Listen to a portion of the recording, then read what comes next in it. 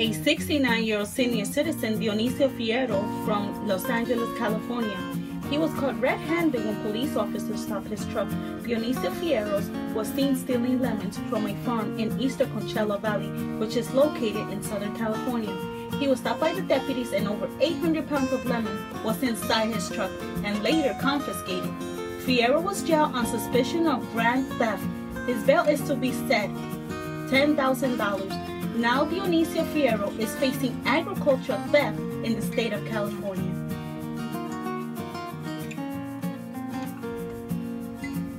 My honest opinion. So I think that Fierro has some type of small business, so he saw the opportunity to make extra cash by selling the lemon by cases. For example, 25 lemons for $7 per case. Or he had an accomplice and the deal went sour, wrong. So the other person ratted him out, told on him. Mr. Fierro, we all have necessity, but stealing is not the correct way to go. It's a sad predicament to be in, especially at his age.